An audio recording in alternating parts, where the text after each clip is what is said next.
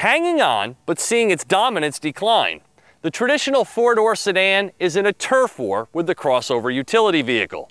But if you prefer a car with some size to it, that's rear-wheel drive, with a former Corvette engine, and oh, a stick shift, well, the choice is down to one. This is the 2015 Chevy SS. Finding an honest to goodness large car in the blue collar segment is tough enough nowadays, much less if you desire attributes such as rear wheel drive, V8, let's not get crazy now, a manual transmission. If that's the car you're after, look no further. Now that Chevy has added the no cost option of a six speed manual, the SS is really in a class of its own. Well, there is a cost associated with the stick shift, but it's in your favor in a couple of ways.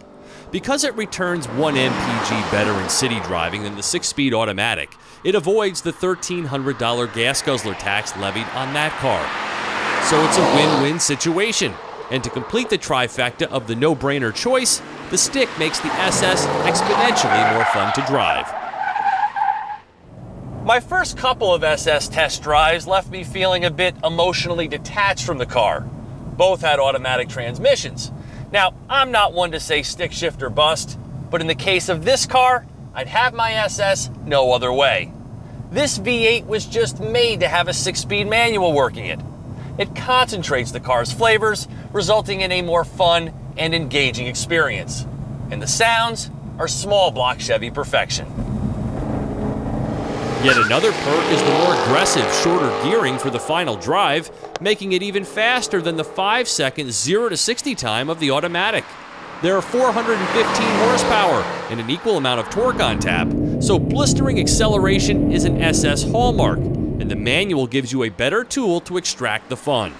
It's easy to operate too, so it never feels like work, though the clutch pedal is long on travel and a bit springy on the uptake, taking a little time to acquaint yourself. The StabiliTrak system has three modes with full off, permitting as much wheel spin as you wish. In a sea of conservatively tuned V6 powered sedans, the SS is a true standout. The last of the LS3 powered GM cars, the 6.2 liter V8 starts and idles with attitude, gently vibrating its power through the cabin and producing a distinctly throaty Chevy sound. The use of an aluminum hood and rear deck lid nearly 50 50 weight balance, a limited slip differential, and legit staggered width Bridgestone summer use tires contribute to the car's exceptional big car handling and tenacious grip. But the key to making the SS a performance sedan you can happily live with every day is the magnetic ride control shocks, now standard for 2015. With Tour, Sport, and Performance modes, these dampers work their magic through a host of GM vehicles, each time significantly contributing to the car's appeal. Smooth as butter over rough surfaces, yet tight in the curves, the SS can be driven through a wide dynamic range, displaying skill throughout. It's a quiet highway cruiser, a hot rod, and a nimble handler all rolled into one. You could think of it as a premium four door Camaro SS.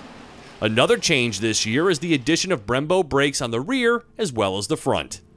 Helping exude some personality from the understated SS design is this new perfect blue paint, one of five new colors, including green and even purple.